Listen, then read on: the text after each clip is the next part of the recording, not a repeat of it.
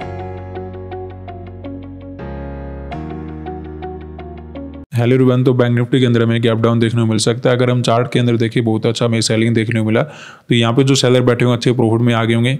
यहाँ पे जो सेलिंग हुआ, उसको हम इस प्रकार देखेंगे। मार्केट ने रिट्रेसमेंट भी किया फोर्टी फाइव थाउज़ेंड के ऊपर क्लोजिंग भी किया है।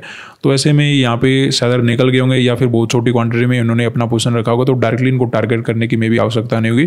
तो अगर हमें गैप डाउन देखने को मिलता तो हम सेलिंग का प्लान रख सकते हैं। लेकिन एक प्रॉब्लम और आ चुकी है कि मार्केट के अंदर इतना बड़ा सेलिंग होने के बाद अगर गैप डाउन ओपन होता है तो बायर काम नहीं करते। और अगर बायर काम नहीं करेंगे तो मार्केट के अंदर क्या हो सकता है? छोटे मोटे रिट्रेसमेंट वगैरह भी देखने मिल सकते हैं। अगर छोटा मोमेंटम होगा, फिर तो हम जल्दी से काम कर लेंगे। अदरवाइज़ अगर कोई बड़ा ग्रीन कैंडल बन जाता है क्लोजिंग प्राइस के आसपास मार्केट पहुँच जाता है तो उसमें हमें क्या करना होगा? ब्रेकआउट वगैरह का वेट करना हो दोबारा से जब कोई रिजेक्शन वगैरह नज़र आए, तब हम सेलिंग का प्लान रख सकते हैं। उसी के अकॉर्डिंग मैंने ये रजिस्टेंस वगैरह लगा रखा है। गैप केस में हम क्या रखने वाले हैं? छोटे गैप में तो सेलिंग का प्लान रखें क्लोजिंग प्राइस के नीचे काम करें। अगर ब्रेकआउट वगैरह हो जाता है तो कन्फर्म कहना तो मुश्किल नहीं है, लेकिन हाँ कहीं ना कहीं थोड़ा बहुत बॉइंग साइड का मोमेंटम एक्सपेक्टेड हम कर सकते हैं, जो कि हमारा पैंतालीस पाँच का ब्रेकआउट भी बना सकता है। पैंतालीस सात सौ छियासठ, पैंतालीस तीन सौ के आसपास रजिस्टेंस अवेलेबल है। चौवालीस छः सौ पैंतीस, चौवालीस तीन सौ के आसपास मार्केट ने दो सपोर्ट बना रखे हैं।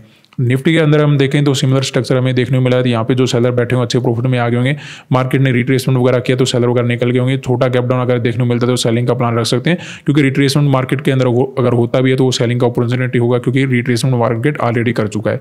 तो ये कहीं ना कहीं सेलिंग के लिए हमारी प्राइस अच्छा देने वाला है। गैप केस में हमें थोड़ा अलर्ट रह के काम करना होगा। अभी तो मैं सेलिंग का ही प्लान बना के जा रहा हूँ, लेकिन अगर गैप केस में रजिस्टेंस वगैरह के ऊपर काम करेगा, फिर यहाँ पे जो सेलर बैठे होंगे, यहाँ पे जो सेलर बैठे होंगे, इनका कॉन्फिडेंस काफ़ी ज़्यादा लो हो जाए मार्केट ब्रेकआउट वगैरह कर सकता है, फिर हम ट्वेंटी टू थाउज़ेंड के ब्रेकआउट के लिए बाइंग का प्लान हम रख सकते हैं।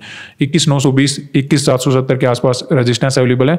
इक्कीस पाँच सौ नब्बे, इक्कीस चार सौ अस्सी के आसपास मार्केट ने दो सपोर्ट बना रखे फर्दर आप मोमेंटम को देखकर डिसीज़न बना सकते हो। गैप डाउन केस में अगर कोई पॉजिटिव मोमेंटम आ रहा है तो वहाँ पर रिएक्शन टाइम सेलिंग करने के लिए थोड़ा सा कम रखना है। धन्यवाद।